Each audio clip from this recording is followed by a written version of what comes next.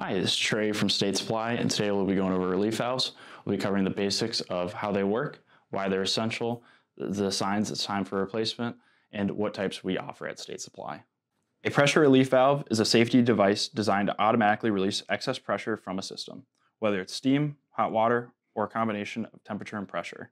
Without one, overpressurization could cause equipment damage, leaks, or even dangerous ruptures.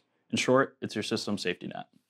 We offer three main types. We offer hot water, steam, and temperature and pressure. Hot water relief valves. They protect boilers, storage tanks, and hydronic systems from excess pressure, venting water when the pressure is too high. Steam relief valves. They're designed to safely vent steam when pressure exceeds safe limits, often used on steam boilers. Temperature and pressure relief valves. They're found on hot water heaters. These open when pressure is too high or when the water temperature reaches unsafe levels. The first step is to pick the correct valve for your system's needs. For the hot water valves, they're measured in BTU per hour. For the steam valves, they're measured in pounds per hour. And for the temperature and pressure, it's a temperature and pressure rating. Step two is mounting it in the correct position. It's typically on the side or top of the vessel. Step three, ensure a proper discharge line is attached, draining to a safe location. Step four, follow manufacturer guidelines for torque, sealing, and orientation.